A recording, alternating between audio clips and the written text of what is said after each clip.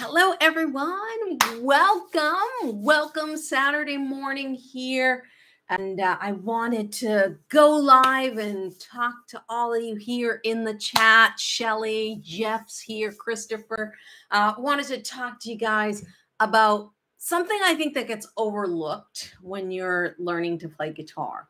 Uh, and that is what does it take to actually be successful with learning? It's it's not talent it's not a natural talent thing. Uh, I didn't have any talent. You know, I was in the, my private community the other day and someone was talking about, you know, I don't have a natural talent uh, for playing guitar. And I said, you know what? I didn't have any natural talent either until I, you know, took the time to learn how to be better at guitar.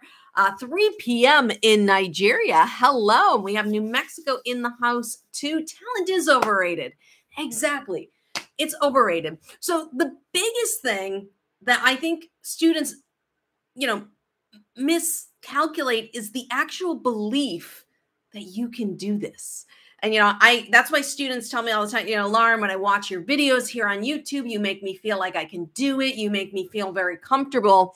And I want students to know that this is totally possible, no matter how old you are, whether or not someone in your family plays an instrument. Have lots of, I mean, no one in my family plays an instrument. I think I found out uh, that my dad played banjo in, in high school because he had to take a banjo class, but no one in my family really plays an instrument the way that I play an instrument. Um, so we I didn't have that growing up. You know, there's some people they come from a musical family. Like, what does that mean? You know, music means that the household just, you know, they appreciated and prioritize music and learning of instruments, but just because you didn't have that growing up doesn't mean you can't do this. You know, there's people out there. I always remind people there's people who don't have hands that play guitar with their feet. Okay. So if those people can do it, if you have hands, you're already way ahead of the game on this. Okay. So, number one, you have to believe that this is possible. And I tell all my students, I'm like, I believe that if you have a desire to play this instrument, it's totally possible. Okay, it's totally it's got to start with that belief. Now, we all suffer from something called self-doubt. I want to share a few stories with you here today. I was in New York, uh, I think it was last week or a couple weeks ago, uh, and I was speaking to a group of entrepreneurs. Um, I, I talked to them about self doubt because, you know, for a lot of entrepreneurs, when you're starting a business, there is a lot of that self doubt. And I know I had that in the beginning when I first started teaching guitar. I was had so much self-doubt. I felt like I an imposter almost, imposter syndrome of I didn't think I was good enough to teach guitar. Um, you know, because I hadn't really taken many lessons in my life. I was mostly self-taught and I said, who the heck is going to want to take lessons from someone like me? So in the beginning, I only taught voice because I didn't believe that I could help people. I didn't believe that I could help people like you. Who else is on here? I see Cigar, I see Peter, Doreen, Brooke, you know, all of you on here who are like, Lauren, you're helping me. Well, in 2010, 2009, 2010, when I started teaching, I didn't believe that I could help any of you that are on this call today uh, because I, I had that self doubt in the back of my head. Just the way some of you have that little, it's that little voice. It's just this tiny little voice that whispers in your ear and says, ah, You're too old. My that ship has sailed. I'm too old. Um, you're not. I have students, most of my students, believe it or not, and I know you, if you know me and you follow my channel, the majority of my students who take my course are in their 60s and 70s. I do have some students in their 80s as well. So if you're in your 40s like me, or you're in your 50s, you're still a spring chicken. There's plenty of time to do this. I've even had students, I've had a few 90 year old students email me. Um, I remember one of them, his name was Paul, and he emailed me a few years ago and he's like, he was 92 and he's like, all I want to do is play Buddy Holly on the guitar. And um, he wrote to me because he was so excited. That was like his dream was to play Buddy Holly. And he was able through the course, you know, to be able to play along to, to Buddy Holly songs. So for him at 92, like he never expected that he was going to be able to do that. but he he fought that self-doubt he gave it a chance and realized that it, it was possible all right that's number one you have to believe that this is possible all right you don't have talent listen nobody has talent all right most people who play an instrument are not prodigies okay those are people with natural talent prodigies who like you teach them something they absorb it and they're like doing crazy stuff on their instrument. I think in the entire, so some of you know, I own a music school here in the Boston area. Um, and we've taught, you know, probably thousands of students at this point in person one on one instruction. Anyone, I think there might have been one one kid that we would consider uh, a prodigy of all those students we've taught only one of them was naturally inclinated to play an instrument. The rest of our students just had to work hard. Okay. So it is there, you know, there is a work component to learning to play guitar. You know, you see all these advertisements and like, you know, play guitar in five days. The easy, you know, learning guitar is easy. It's not easy. Let me be honest with you. You know, it's something my students love about me that I'm honest. It's not easy.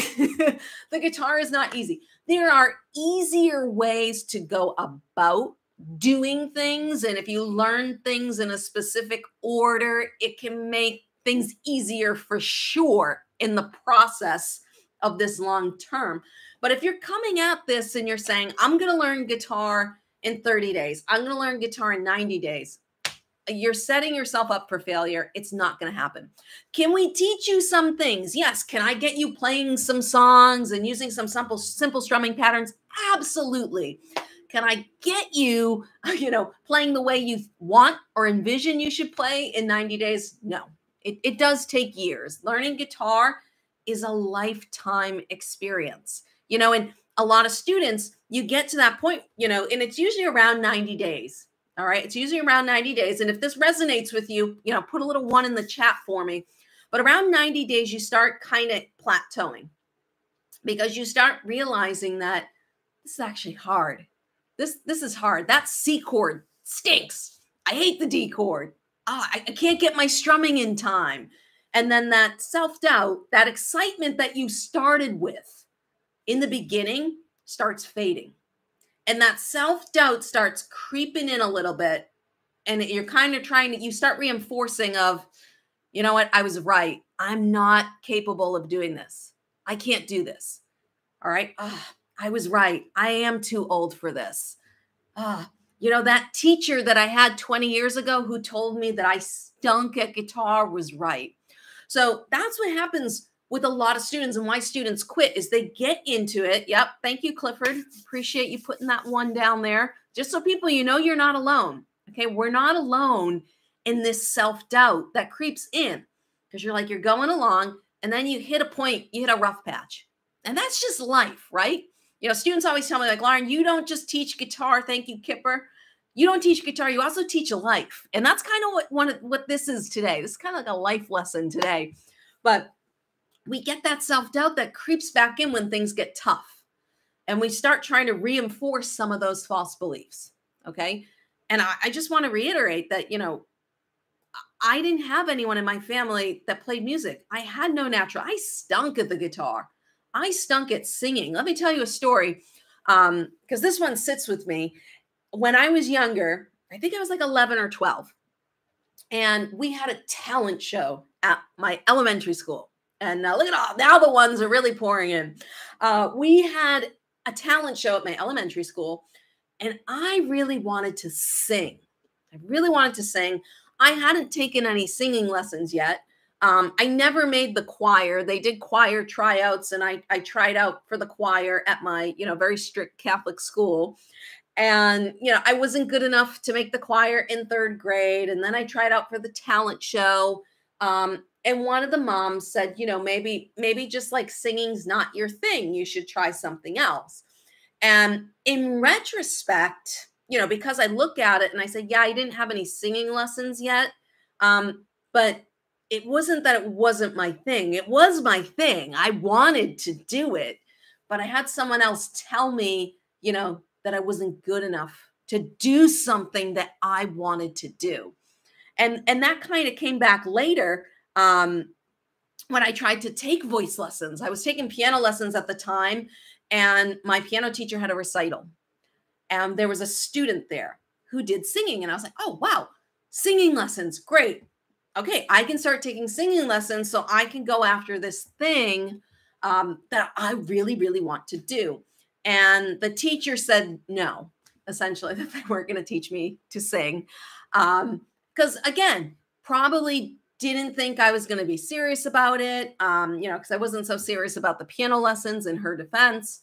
But also, you know, they, it was just adults thinking like, this kid's not going to do it. And I lived with that for a long time, thinking like, I'm not good enough to sing. Um, I shouldn't be singing. And then when I was in my early 20s, I decided to start taking voice lessons so that I could be good enough. And that's the same thing for all you here on YouTube or whether you're in my course. Um, I do have, just so you guys know, I do have a beginner course. It's called the seven level system. I think there's a link pinned on the chat there. You guys can go check that out. But that's why you're here because you have this desire. You know in your heart that you want to do this on guitar. You've dreamed about it for years, for decades, you know. Maybe someone gave you a guitar. I, you know, I had a student the other day who wrote to me um, from Hawaii, and they, they I, I apologize that I'm forgetting the town, but it was the town that had the fires and and burnt down, and and they lost all their guitars. And they were telling me this story about how their mom gave them a guitar when when he was younger, and you know he was able to save one of his guitars from the fires, but it was just something that he had always wanted to do from when he was younger and finally taking those steps to do it because, you know, let's face it, life happens. You have kids. I know a lot of you here are um, a lot of my students in the course, military veterans. All right. You went off to, to Vietnam, you came home, you started a family, life happens, work. Um, so things get things do get in the way. But for a lot of you, or at least a lot of my students, they're older now. They're getting into their 50s, 60s, they're retiring, and they're saying, There's this thing in the back of my head that I've always wanted to do, always wanted to do. But I remember I had that teacher who told me I couldn't do it.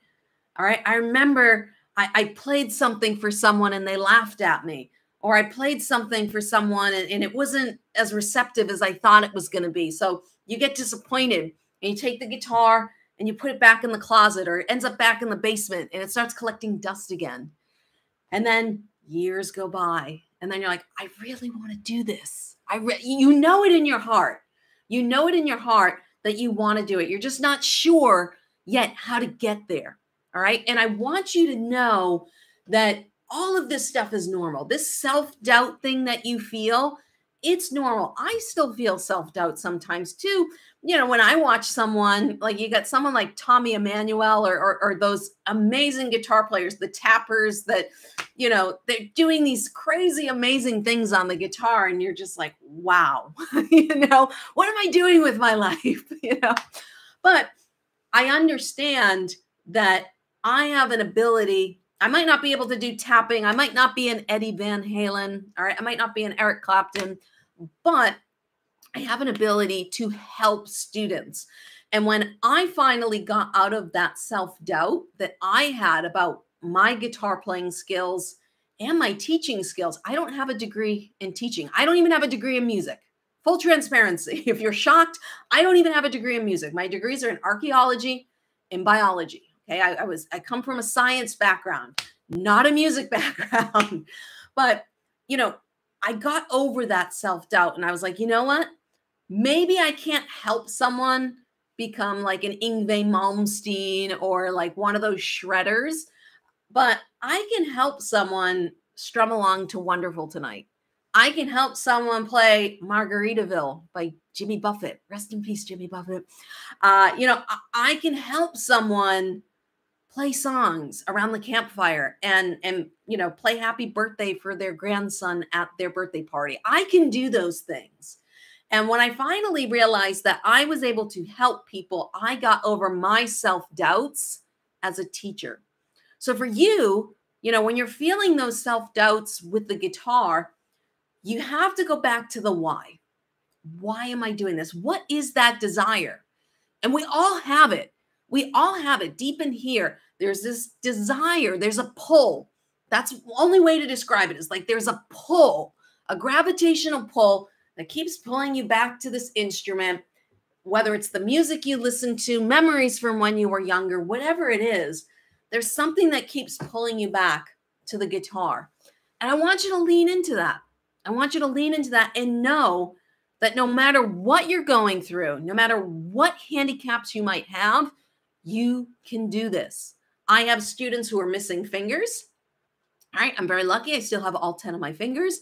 I have some students who are missing fingers. They're actually in my course. I have because they ask me all the time, Lauren, I'm missing my middle finger. I'm missing my index finger. What do I do? I'm missing my pinky. Can I still do this? Can I still finger pick? And the answer is yes, you absolutely can. You absolutely can. You might have to modify things a little bit to adjust for the handicap. So for some students, I have uh, many students, you know, they, they're mechanics or they lost a finger. Um, and I, I recommend, hey, switch it around.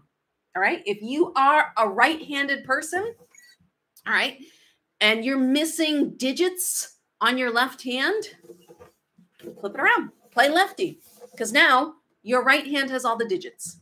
Okay. Lauren, can you do that? Yes, you can do that. All right. You will overcome any deficiencies as you practice. It's always better to go with your dominant hand, I believe. Um, but if that handicap is big enough, it might be better to flip it around. All right. Some of you might know Django Reinhardt. He was a, um, I think, gypsy jazz guitar, and he came up with those, those stuck like glue chords that I teach you about because he was in a fire and his pinky finger and his third finger got fused together. So he he couldn't play guitar like everyone else. So he figured out how to play guitar for himself with his handicap and his disability. And that's why I tell people, oh, thank you, Henry. I appreciate that. S. Henry. I don't know the first name, but hate the G chord. I know. You might like the stuck like glue G chord. But someone like Django, he could have given up and said, you know what? I've got this handicap. I can't do this. Uh, and instead, he let his desire, that pull for this instrument, he let the pull lead him and he created all these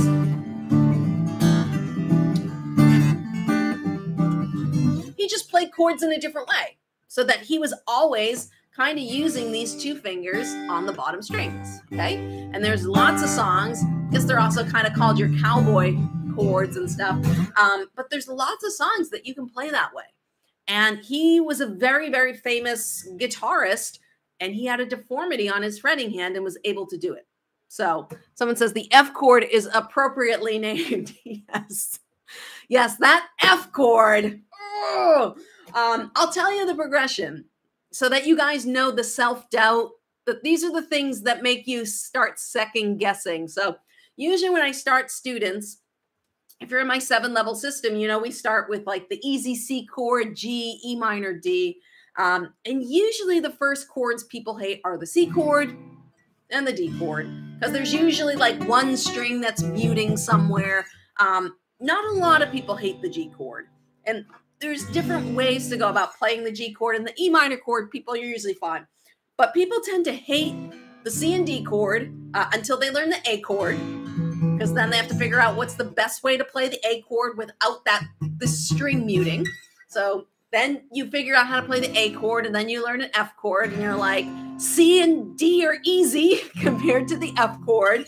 Um, but that's that's the process of learning. There's always going to be something that's going to push you out of your comfort zone, that's going to challenge you, and it's going to make you second guess. Yeah, we got a lot of people in the chat talking about that F chord. If you hate the F chord, put a one in the chat right now. If you've tried playing that F chord and it, uh, sounds kind of like that, um, totally normal. Okay. And, and that's another thing about self doubt is we think we're the only one experiencing this. Yeah. Look at the ones. Okay. You are not the only one who can't do this. Okay. We play the F chord and we're like, this stinks. And then you put the guitar down. you're like, I'm not going to play it again because I can't play this F chord. Look at it. Look at all the ones in the chat. Oh, Tom says, learn to love the F. I like that, Tom. Tom, I'm going to see you in a couple weeks at the live event in Boston. Can't wait. But look at all these ones in the chat. Okay. So that is something you need to understand when you're hitting a plateau point, when you hate the C chord, you hate the D chord, and your timing's off, and oh, I just can't get it. Now I'm learning this bar chord and it sucks, and it's the F chord, and I know why it's called the F chord now um, you're not alone. You're not alone. And that's why, you know, I have the private community with my course so that you can reminisce with people. Tom is, you know, he's one of the people that's um, in the community. Um, and, and we share our ups and downs there. You know, people will post, I'm, I'm, I can't do this. I'm ready to give up. And then, you know, you'll get four or five responses from other students being like, I know exactly how you feel. That's how I felt. I was in the same point as you. Um, but now I'm over it. And this is how I overcame it. And I'm just going to turn my phone off so I don't get any more texts. Um, I, you know, knowing that you're not alone is so important, is so important. And that's what we think. We think when we start making these mistakes or that we can't get the upstrum, the timing's off a little bit. We in that little self-doubt pops into the head again, and you start thinking, I gotta be the only one. I have to be the only one who's going through this, right? And the answer is no.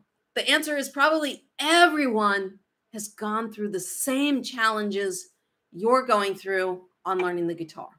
It's not easy. It's not an easy answer. If anyone tells you it's easy, they're lying to you. Okay, it's not easy. Like I said in the beginning, are there things we can do to make it easier? Yes. So if you hate this three fingered C chord, hey, we can try a two fingered C chord. We can try a one finger C chord. And people are like, oh, you can do that? And it's like, yes, it's a C chord. That's a C chord. Also a C chord. Okay. This is also a C chord. You know, we can do we can do a bar chord. This is also a C chord. You know, and there's many other ways to play a C chord on guitar. Um, but I just want you to understand that what you're going through, you're not going through it all by yourself. Every guitar player in the history of guitar playing has gone through the same trials and problems. Yeah, still avoiding the B chord. That's understandable. That B chord is is a B. the F chord is an F chord for a reason and the B chord is a B. Yep. Um so, you know, but those are those are natural challenges that come up with the guitar. So, the bottom line that I want you to understand is one, you have to start with the belief that this is possible. Okay. Especially if you're an older learner, look around. Are there other people who are older than me who are learning the guitar? The answer is yes. And I know because I'm teaching them. I will guarantee you I have someone in my program that is older than you that is learning guitar, that is strumming and playing along to songs they know. I will guarantee it. Okay. Unless you're 100. I don't think I have any 100 year olds in my course yet. But if you are, I would love for you to take my course because then I can say, hey, I had a hundred year old, so none of you have any excuses. but like I said, the majority of my students in my course, 60 years old, 70 years old, I do have a, a, a number of people who are in their 80s. So if you're any younger than that, you definitely got no excuses. The best time to learn to play guitar was 20 years ago. Okay. But the next best time is right now. Okay. Um, I'll tell you a story. I actually just sent an email out about this the other day. I had a student um, that worked with me in, in COVID, and I found out recently. Um, a bunch of us in the community found out that she had um, she had passed away, and, and I don't know, I don't know what happened. I know she was in the hospital for a while, um, but she was only fifty seven. Okay, and I read her obituary because I was trying to understand. Maybe they put in what happened. What, what you know, was she sick? And there was a line in the obituary that said her favorite one of her favorite pastimes was playing guitar. And i read that line and it made me feel i'm gonna i'm gonna don't i'm not gonna cry. Um, it made me feel so um i don't even know how to describe it. I was so happy. I was very sad you know that she's not with us anymore but i was so happy that I'm sorry. Woo! Uh, so just so you can see how much I care about my students, I was so happy to see that that made her obituary, that her her family realized how important that was to her. And I was so happy um, to be a part of her life for that. So just goes to show you that one, we none of us know how much more we have on this earth. Okay. COVID was only three years ago. And I'm so happy that during COVID, she decided that, you know, now's the time that I'm going to do this thing that I always wanted to do. She loved music. She was always posting about, um, you know, what concert she was going to. She was a Spitfire. And, you know, it, it's just an example of, you know, some of you know I had cancer when I was younger, when I was 16. Uh, and that's something that's always in the back of my mind is like, when is this thing going to come back? You know, that's what, whenever you have cancer, that's your number one thought. I don't think about it all the time, but it comes back. You're just like, when is this going to come back? Like, am I going to make it to 80 or am I going to die at 50? Because my aunt died of pancreatic cancer when she was 51. And, you know, I, I, I hear students say all the time, someday, I'm going to do it someday, I'm going to do it someday. And eventually, someday becomes never. So if you're one of those people, even if you can't afford my course, that's why I do so much for free here on YouTube and on my website. I'm sorry, gonna like just clear my tears for here a little bit. Um, I that's why I do so much free here on YouTube and on my website. I have so many students who write to me like I, I can't afford your course and and if you are um, a military veteran we do offer a military discount on my course um, i think it's 20 or 25% off the course so if you are a military veteran just shoot us an email and we'll give you the coupon code. I, I don't know it off the top of my head, um, but just shoot an, an email to info, info at laurenbateman.com. If you if you are a military veteran, just let us know where you served, what you did, and, and we'll give you that coupon because um, I really do appreciate all of our veterans out there and what you've done for us. Um, even if you're not in the United States, if you served in a in a in a different country, you know, you were serving your country. So just just let us know. Um, we will extend that out to anyone um, that is a, a veteran and, and and fought for their country. Um, so going back to that, sorry, I just went off on a tangent on that, but eh, you know, whatever you can afford, okay. If you can do the free route, I'm here. Okay, I'm here. I'm uploading new videos every week. I'm here live with you guys. If you can afford the course, awesome. Great. Go do it.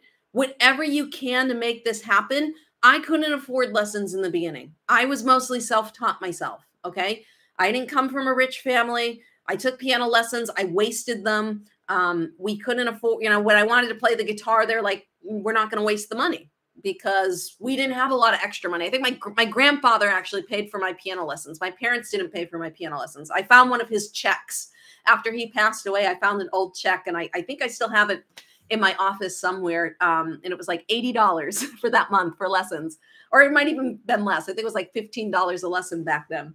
But he paid for for the lessons. So my family, we couldn't really afford to pay extra money for lessons. So I did what a lot of you here on YouTube are doing. Okay. You're, you're trying to just get what you can for free and I'm here to help you guys. I'm here. Go over to my website, laurenbateman.com. There's tons of songs over there for you to learn for free. There's lots of tips and techniques. Go take my free crash course. Okay, go to laurenbateman.com. There's a button that says, you know, get your free course. Take the free crash course. Get a good foundation. Get a good starting point. Okay, whether you pay me money or not, that's not important. The most important thing is that you get started today. Get started today and dedicate. Make this a priority because if it's not a priority, it doesn't happen. It doesn't happen. And that's why, you know, I tell students if you can afford to buy the course, buy the course because when you put money into something, I know when I buy something, like if you know, when I buy a nice guitar, I'm like, I better play that guitar. I'm not going to waste all that money on the guitar. But hey, if you're someone who's on, you know, a limited income, I got, you know, there's people here from all over the world. Again, put where you're in from the chat. I got people who live in, in in Thailand. I have people who live in the Philippines. There's people from all over where, you know, $297 US is a lot of money when you convert it. Okay. So there's a lot of people in this chat right now that can't afford to buy the course because the conversion is is just too high. But they're here. You're on this chat right now. You are here. You are showing up. Okay. You are showing up. Keep that energy. Don't lose that because the moment you lose that, this thing ends up back in the closet, back in the basement, gathering dust. Okay. That's where it goes. So if you're doing something, keep going. Don't stop. I support you no matter what. I just want to let you know that I believe in you. You can do this.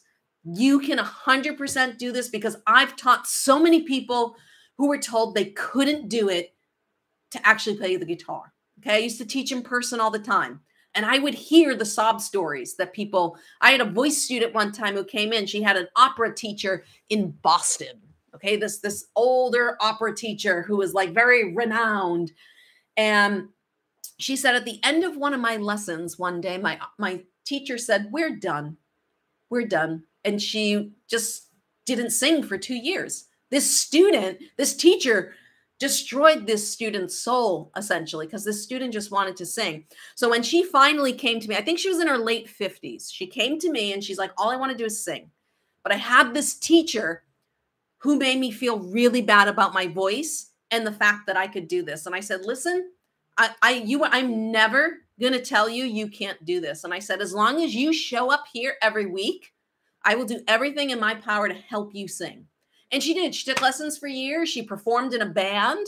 Okay. Uh, she ended up taking piano lessons later. And it just goes to show you just because you had one person in your life not believe in you doesn't mean you should stop believing in yourself. So if you had someone in your life that told you you weren't good enough, you couldn't do it, I had lots of people who told me that. And it's having someone that believes in you. So I'm going to be that person for you. Okay whether you're in my course, whether you're a YouTube person, whether you're on the mailing list, I don't care. If you've, if, even if you've never given me a penny in my life, I believe in you. Okay. And you can do this. We all can do it. All right. So if you're having some self doubts, I know you can do it. You got this. Keep going. Keep going because once you get over that hump, it's amazing. It's amazing. It is lovely. So, the number one factor for success in guitar is just the belief in yourself that you can do it. It's that Thomas the Tank Engine. I think I can. I think I can. I think I can. I think I can. You can. I'm telling you, you absolutely can. Do not give up on yourself. It gets hard. All right. It's not easy. It gets hard. Don't give up. You've got this. I hope you all have a wonderful Saturday. We have some new lessons that are going to be coming out. I'm going to be doing some recording tomorrow. So I look forward to seeing you all in a lesson video real soon. Bye, everyone.